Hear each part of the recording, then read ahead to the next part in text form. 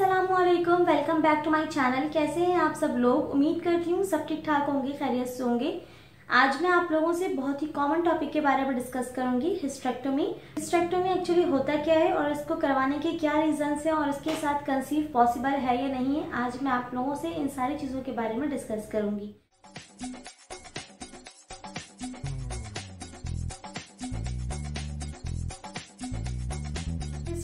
Actually एक major surgery जिसमें वोम को रिमूव कर देते हैं, यानी यूट्रस को रिमूव कर देते हैं।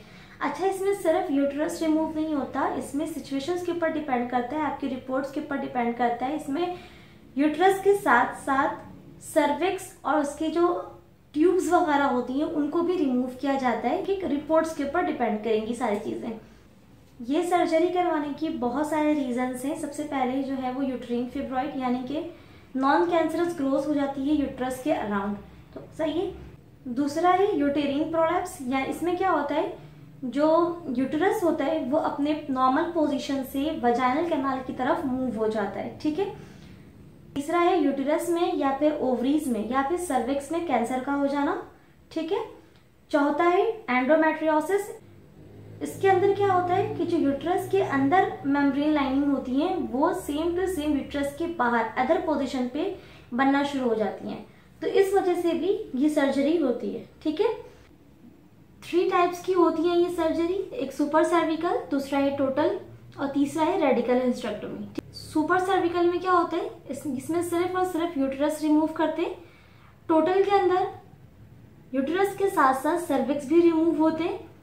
और रेडिकल हिस्ट्रेक्टोमी के अंदर सर्विक्स यूटरस और साथ ही साथ फेरोपियन ट्यूब्स वगैरह भी रिमूव होते हैं। ठीक है? ये मैंने आपको बताया ना ये डिपेंड्स करता है आपके रिपोर्ट्स के ऊपर, आपके सिचुएशंस के ऊपर।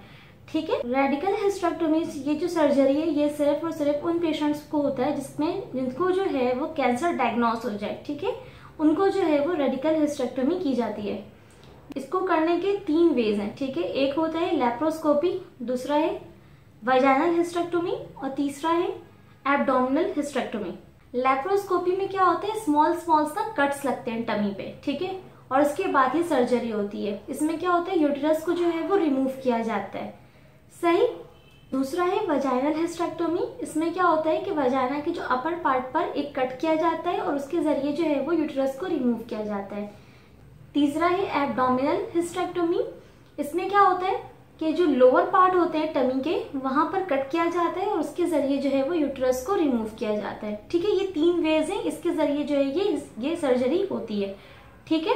हिस्ट्रेक्टोमी करवाने के बहुत सारे डिसएडवांटेजेस भी हैं। इसमें जो है वो ब्लड क्लॉट हो जाते हैं, सही है सीवियर इन्फेक्शन हो जाएँगी।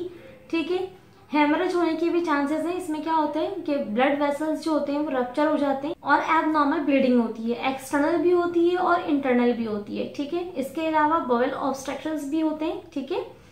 लॉन्ग टर्म रिस्क ये है कि अर्ली मैनोपॉज हो जाएगा और साथ ही साथ स्कार्स हो जाते हैं पेल्विक रीजन पे। अब क्वेश्चन ये अराइज होता है when you have a hysterectomy what happens to your body actually ठीक है यूटेरस जो होते हैं वो रिमूव हो जाते हैं, ठीक है? इसकी वजह से क्या होगा कि पीरियड्स नहीं होंगे और ना ही जो है वो प्रेगनेंसी पॉसिबल है, ठीक है? कंसीव पॉसिबल नहीं है। लेकिन हाँ अगर सिर्फ़ और सिर्फ़ यूटरस रिमूव हुआ है और अगर ओवरीज हैं तो इसका मतलब ये है कि जो आपके हार्मोन ओवरीज में बन रहे होते हैं, वो लाजमी बनेंगे।